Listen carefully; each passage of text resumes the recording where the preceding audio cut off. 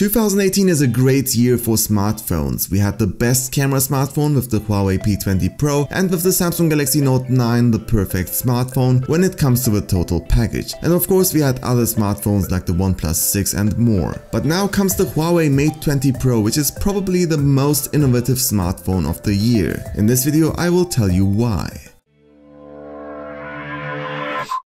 The design is quickly explained, a glass back with a hyper optical pattern which makes it more grippy and curved sides on the back and front for a better handling. It is available in various color variants. Of course on the front is a notch design but more on the notch later. When it comes to specs, the Huawei Mate 20 Pro comes with the newest hardware from Huawei like the Kirin 980 and more as you can see on the screen. It results in better performance and other things like LTE Cat 21, a dual NPU AI unit, Wi-Fi AC Wave 2 and a super fast charging technology with 40 watts supercharge where the 4200 mAh battery can charge from 0 to 70% in 30 minutes. What's also new is wireless charging with 15 watt which makes it 1.5 times faster than the current competition. With wireless charging comes another very interesting feature. A few years ago Huawei introduced a feature which allows you to use your phone as a power bank for other phones. And now you can do it wireless. Just put another Qi enabled smartphone on the Mate 20 Pro and it charges. Thank you Huawei, very cool. When it comes to storage, Huawei had some new ideas. The internal 128GB can now be extended via new NMSD cards, which have the exact same size as a nano SIM card.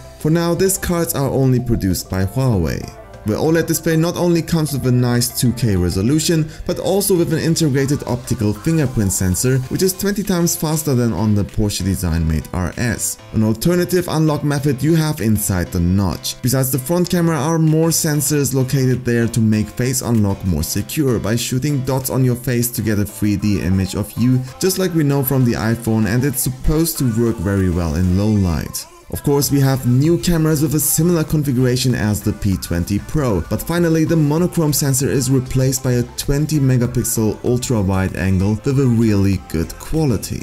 The Master AI in its version 2.0 not only recognizes more scenarios, objects and can do more optimizations, but also creates photo segments in real time with up to 10 elements and optimizes each one of them separately. With this, the dog, the beach, the sea, the sky and the palm trees and so on are separately optimized and put together into one picture. The AI now also allows you to do macro photography up to a distance of 2.5 centimeters, which especially for me is very cool and useful. The Master AI can now also optimize videos. It can for example recognize what is important in the video and predict the movement of the object for a better focus and with classic movie color you can choose color profiles for your videos. Features like color pop and video bokeh are also rendered in real time.